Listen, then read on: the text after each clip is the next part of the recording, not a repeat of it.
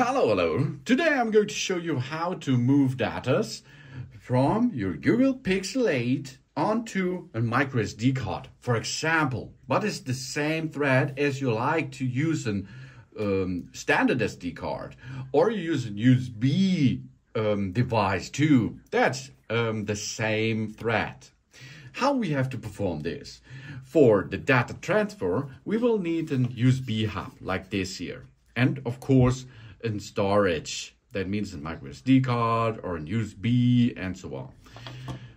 Then we can start. The first step is we pre um, uh, uh, we, we prepare our micro SD card. Here it is. This is a micro SD card.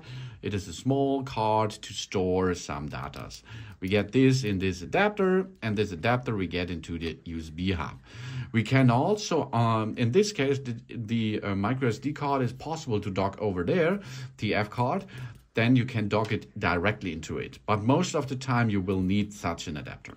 Okay, now here on the other side of the USB hub, there is an USB-C cable. And this USB-C cable we get here into position into our Google Pixel 8. Get it there. Okay, now we have connect this each other.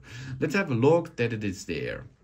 We are going to swipe up a little bit and then we go to settings. We go to down to storage and this device and uh, that device is there. Okay, no, where, where, where, where is my device? Here, USB drive.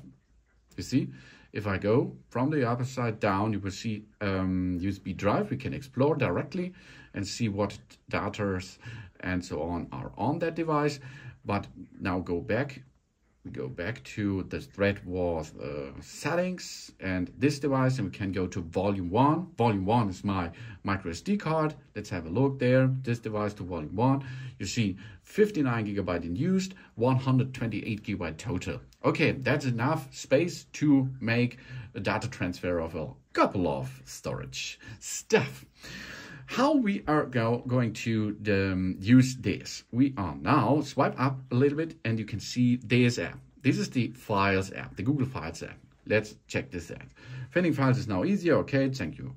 And here we can see if we go down, USB storage 69 gigabyte free and an internal storage of 104 and other storage. We can here see, for example, Google Drive.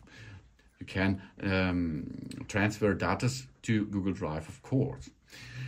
So what's next? We are going to transfer uh, some images. Here we are. These are the images. We can push and hold them and then choose or we choose all together. Then there are three points. These three points are syntax. Delete all, uh, deselect all, move to copy, add to start, move to Safe folder, back up to the Google Drive.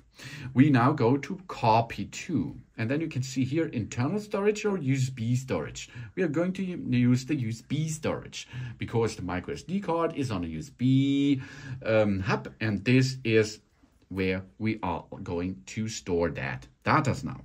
Now we search here for Pixel 8. This is only an um, uh, uh, uh, only for, for showing you how to make, you can make a new uh, folder, for, ex uh, uh for example, or something else. So Pixel 8, here, add new folder, for example, or we can go, go and copy that there. Now it starts copy and job's done. Now let's have a look.